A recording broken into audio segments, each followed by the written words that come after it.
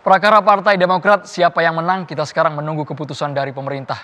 Saya akan memberikan kesempatan untuk closing statement para narasumber di catatan demokrasi. Bang Ali, silakan Bang Ali dengan durasi hanya satu menit. Kita ingin mendengar pernyataan dari Anda, Bang Ali. Yang pertama saya menyampaikan apresiasi dan terima kasih kepada TV One karena ada ruang catatan demokrasi untuk edisi perdana. Itu artinya bahwa ada ruang di mana kita mengelaborasi masalah-masalah yang menjadi perbincangan di publik. Termasuk materi yang pertama ini adalah berbincang tentang judulnya itu luar biasa seramnya, prahara Partai Demokrat. Tapi is okay, saya berdoa agar catatan demokrasi ini akan berjalan ya, kuat dan mantap. Yang kedua yang saya ingin mengatakan bahwa saya selalu hadir di setiap perbincangan ketika orang menyeret-nyeret eh, KSP, orang menyeret-nyeret presiden dan orang menyeret-nyeret pemerintah. Saya akan hadir untuk bisa melakukan klarifikasi karena tentu saja saya bertanggung jawab sebagai tugas di KSP dalam rangka melakukan diseminasi informasi Baik. agar masyarakat tidak boleh tertipu dengan berbagai diksi dan narasi yang bisa menyesatkan publik dan masyarakat Indonesia. Dan sebagai benteng di Bina Graha dan kantor KSP, saya akan ada di barisan terdepan untuk Baik, dan atas kasih, nama pemerintah. Bang, Bang Fahri. Ya, uh, karena ini acara kita pertama, uh, saya mengucapkan selamat dan ada beberapa usulan nanti saya akan usulkan. Di antaranya kalau bisa waktunya ditambah dan jumlah pesertanya ditambah. Oh. Jangan terlalu konfliknya kelihatan terlalu terbuka, ya kurang asik begitu.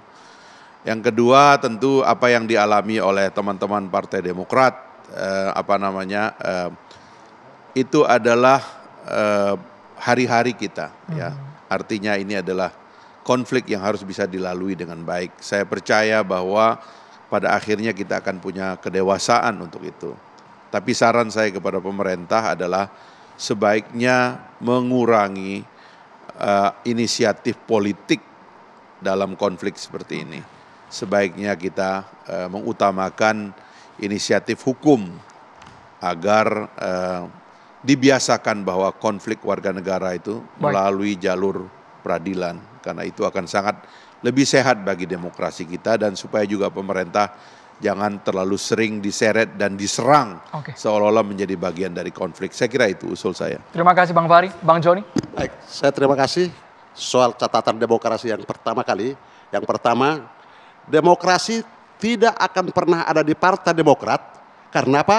Karena harus meminta persetujuan Ketua Majelis Tinggi dan Ketua Umum AHY di dalam anggaran dasar yang mereka katakan itu adalah tahun 2020. Oleh karena itu, Kongres luar biasa adalah mengembalikan proses demokrasi okay. di tubuh Partai Demokrat. Oleh karena itu, kader Partai Demokrat, mari KLB adalah solusi untuk kita berdemokrasi dan sekaligus menunjukkan kepada masyarakat bahwa Partai Demokrat adalah partai yang demokratis untuk memperjuangkan hak-hak rakyat. Hak-hak kita aja gak kita, kita perjuangkan, apalagi hak-hak rakyat. Terima kasih. Bang Jadi catatan demokrasi sahabat-sahabatku semua, kader Partai Demokrat di seluruh Indonesia. Pertama saya ingin menyampaikan tidak benar apa yang disampaikan Pak Jam atau teman-teman KLB. Ada kekosongan hukum begitu. Itu sama saja kemudian tidak menghargai Menteri Hukum dan HAM Pak Yasona begitu. Karena produknya itu ada MAH 09 18B 2020. Anggaran dasar inilah yang menjadi pegangan kita, menjadi pegangan seluruh karir Partai Demokrat, termasuk kemarin pemerintah mengatakan inilah akan kami jadikan batu uji untuk mengukur KLB Sibolangit itu sah apa tidak. Dan saya mengatakan karena syarat 50 DPC, 50% DPC tidak terpenuhi, 2 per 3 DPD tidak terpenuhi begitu. Jadi teman-teman tetap solid, tidak ada dualisme Partai Demokrat. Yang ada hanya satu lisme, yaitu Partai Demokrat yang dipimpin oleh Mas Ahaye. Yang kedua saya ingin meminta kepada pemerintah begitu, sebagaimana kita belajar di Fakultas Hukum, hukum itu harus determinan terhadap politik. Segala macam bentuk kegiatan hukum, ya, harus tunduk eh, segala macam bentuk tindakan politik harus tunduk pada hukum begitu dia. Karena hanya hukum Baik. inilah yang bisa meneduhkan dan menjaga demokrasi kita ini.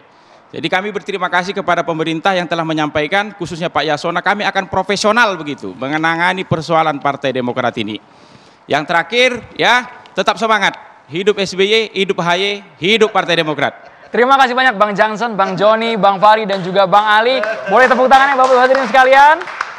Di meja boleh panas catatan demokrasi sebagai wadah untuk menyampaikan aspirasi, tapi kami mohon kepada bapak-bapak yang ada di sini, di luar studio ini, tetap kita bergandengan tangan. Bang Ali, boleh gunakan masker kembali sebagai bentuk mematuhi protokol kesehatan. Saya juga akan mengundang partner saya yang tadi sempat mewawancarai Pak Yusuf Kala. Maria Segaf bisa bergabung di studio. Silakan berdiri boleh Bang Ali, Bang Fahri, Bang Johnson dan juga Bang Joni di tayangan perdana catatan demokrasi sudah berkenan hadir malam hari ini.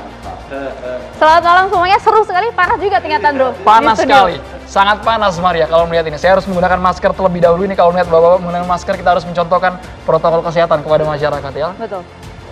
Sekali lagi terima kasih banyak Bang Fahri, Bang Johnson. Semoga gambaran dari demokrasi bangsa ini kita boleh sambil bergandengan boleh tetap jaga jarak tapi. Jaga jarak. Tosnya, tosnya Kita- dari jarak jauh saja, Bang. Jarak jauh. Bang, terima kasih Bang. Terima kasih Kami mencatat semuanya. realitas yang seharusnya adalah partai politik sebagai representasi masyarakat dan jembatan keterwakilan warga negara pada posisi kursi kekuasaan baik legislatif maupun eksekutif. Saya Andromeda Mercury. Saya Maria Sugeng pamit. Terima kasih. Sampai jumpa di catatan demokrasi selanjutnya.